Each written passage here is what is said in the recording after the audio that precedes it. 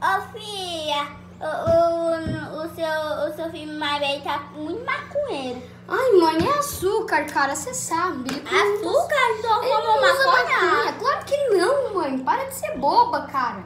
Mas ele tem 80 anos, Mas que lembra? mentira, vó. Vó, você tem Alzheimer, você sabe. Quer dizer, mãe, mãe, mãe, você tem Alzheimer, cara, você sabe. Que que é Alzheimer, Então, minha filha? Você precisa.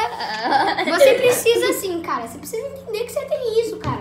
Mas, É? mãe, fica calma. O meu, o meu filho não tem nada. Eu criei ele direitinho, eu bato nele todo dia. Ele apanha 30 vezes todo dia. Não, não! A minha maconha não! Cada vez que ele come doce, ele pá! Ai. Ele apanha! Apanha! Você fez! Ah! Foi mal! Tá tudo bem?